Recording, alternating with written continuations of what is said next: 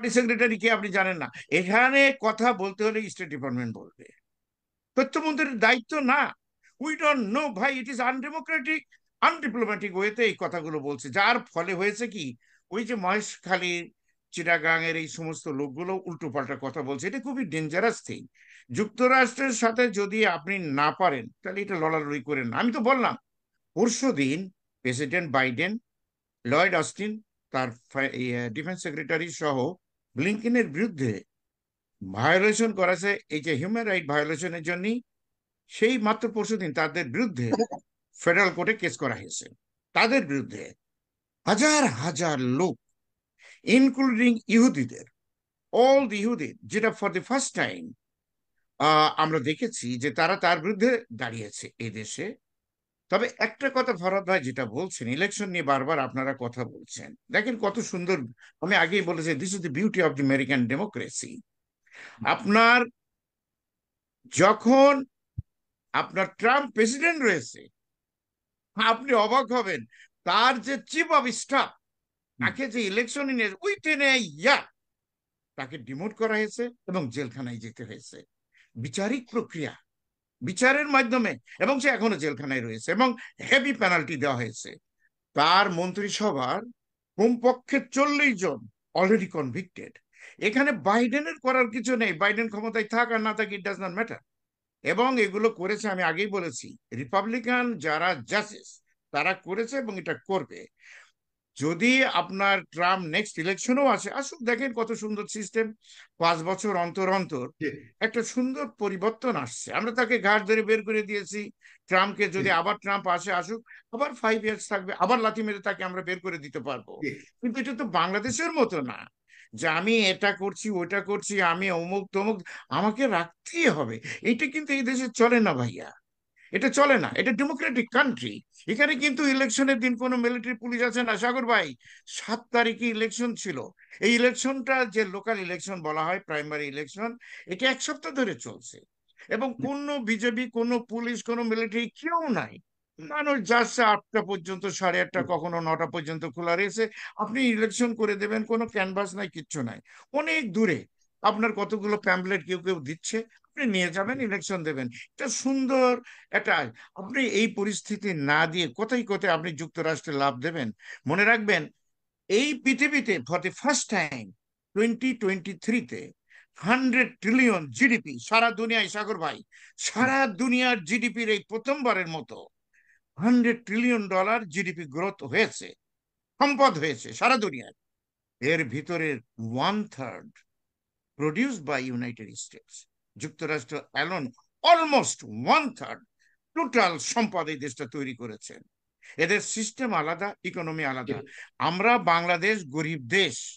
আমরা সবার সাথে বন্ধুত্ব করে একটু ব্যবসা কিনা করে করি। আমরা এমন কোনো প্রোডাক্ট নাই যেটা নিয়ে বলব যে এইটাই আমার একমাত্র গোল্ডেন ফাইবারের দিন চলে গেছে। সুতরাং আমাদের সাথে সবার সাথে বন্ধুত্ব করেই চলতে হবে। আজকে আমি যা দেখছি যে ডে আফটার উনি যদি ইলেকশন করেই ফেলেন গুড লাক তার পরের দিন পুরো জাতিকে আপনার খেসারত দিতে হবে। কারণ যুক্তরাষ্ট্র বা ইউরোপিয়ান ইউনিয়ন এসে ওই যেমন প্যানামার প্রেসিডেন্ট নরিয়াগাকে ধরে নিয়ে আসছিল, এটা কিন্তু এরা করবে না। সাগর ভাই, আমি আপনার বলে দিলাম। এরা আস্তে আস্তে যেভাবে মোরাল পারসিউশন দিয়েছে তারা ডেমোক্রেসি নিয়ে আসার জন্য, আপনার ওইভাবে সব সেক্টর গুলোতে। আপনি কি করবেন? আপনার আট হাজার টাকা গার্মেন্টের যারা আছে এইটাকে ধরেই তো বলতে পারবে যে তুমি গার্মেন্টের যে শ্রমিক আছে তাদেরকে অন্যায় করছ সুতরাং তোমার এখান থেকে আমি গার্মেন্ট নেব না। আপনি জানেন অলরেডি বারো চোদ্দটা দেশ বিভিন্ন ভাবে দিয়েছে। আর গাজার বিষয়ে আমরা কিন্তু তাকে মনে প্রাণে ঘৃণা করি এই দেশের মানুষ। এবং আমি বলেছি স্টেট ডিপার্টমেন্ট বা অন্যান্য থেকে একশো পঁচিশ জন লোক তারই অ্যাপয়েন্টেড লোক তারা সবাই পদত্যাগ করেছে। যেটা বাংলাদেশে পদত্যাগ করল আপনি নিরাপদ না ভাইয়া। আপনার আচ্ছা। কেন হঠাৎ করে? সে কথাটা আমি বলেছি একটু রসিকতা আপনি যাচ্ছেন যে সকল জায়গা রয়েছে জায়গা রয়েছে এবং সমর্থনের আমাদের আমাদের এই কথাগুলো আপনাকে সাগর এখানে ভাই জি। আমাদের যে কথাগুলো আমাদের ইয়ে এই তথ্যমন্ত্রী বলেছেন আপনি বারবার প্রশ্ন করেছেন এবং পার্টি সেক্রেটারি বলেছেন। এদেশে পার্টি সেক্রেটারি কে আপনি জানেন না? এখানে কথা বলতে হলে স্টেট ডিপার্টমেন্ট বলবে। তথ্যমন্ত্রীর দায়িত্ব না। উই ডোন্ট নো ভাই ইট ইজ আনডেমোক্রেটিক আনডিপ্লোম্যাটিক ওয়েতে এই কথাগুলো বলছে। যার ফলে হয়েছে কি ওই যে মহেশখালী চিটাগাং এর এই সমস্ত লোকগুলো উল্টো পাল্টা কথা বলছে। এটা খুবই ডেঞ্জারাস থিং যুক্তরাষ্ট্রের সাথে যদি আপনি না পারেন তাহলে এটা লড়ালড়ি করেন আমি তো বললাম আপনার চীনের সাথে সম্পর্কটা কিন্তু বাণিজ্যিক। ওই যে পারবে না যুদ্ধে পারবে না ধরবে না এটা করবে না এটা না ফরাত ভাই। এদের বাণিজ্যিক সম্পর্কটা বাণিজ্যিক। চীনের কি বাকি রাখছে? মাসুদিং এর চীন কি রাখছে? এ কে করেছে এটা যুক্তরাষ্ট্র? রাশিয়ান যে ফেডারেশন বড় রাষ্ট্র ছিল কে করেছে আমি আমি মনে হয় ওই ওই বিষয় ঐতিহাসিক বিষয়গুলো নিয়ে প্রয়োজনে আপনার ইতিহাসে যাব না কিন্তু যেখানে যাকে ধরার দরকার পুরো ধরবে। আপনি মনে করেন যে যুক্তরাষ্ট্র ছাড় দিবে না অবশ্যই ধরবে সেটা হয়তো এ ব্যাপারে আমি সতর্ক করছি।